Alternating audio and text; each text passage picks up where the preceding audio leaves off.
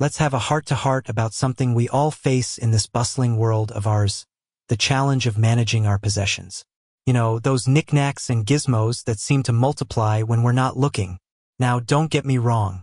There's nothing inherently wrong with having a few doodads and widgets around. They can bring a spark of joy or serve as mementos of special times. But here's the thing. It's crucial to remember that at the end of the day, they're just things.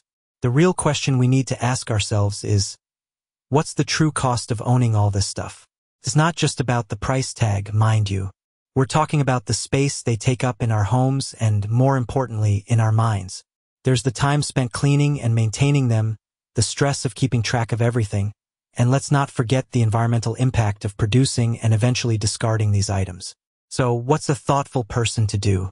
Well, I suggest we take a step back and reflect on what's truly essential in our lives. Let's consider the basics. 1. A safe, cozy place to call home. 2. Clean water to drink and bathe in. 3. Nutritious food to keep us healthy and strong.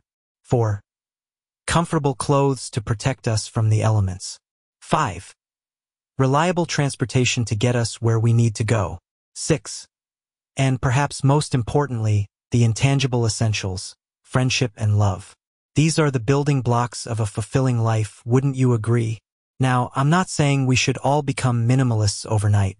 Far from it. Life is meant to be enjoyed. And if that cute little figurine or that shiny new gadget brings you genuine happiness, by all means, welcome it into your life. The key is to be mindful about it. Before bringing something new into your home, ask yourself, Will this truly enrich my life?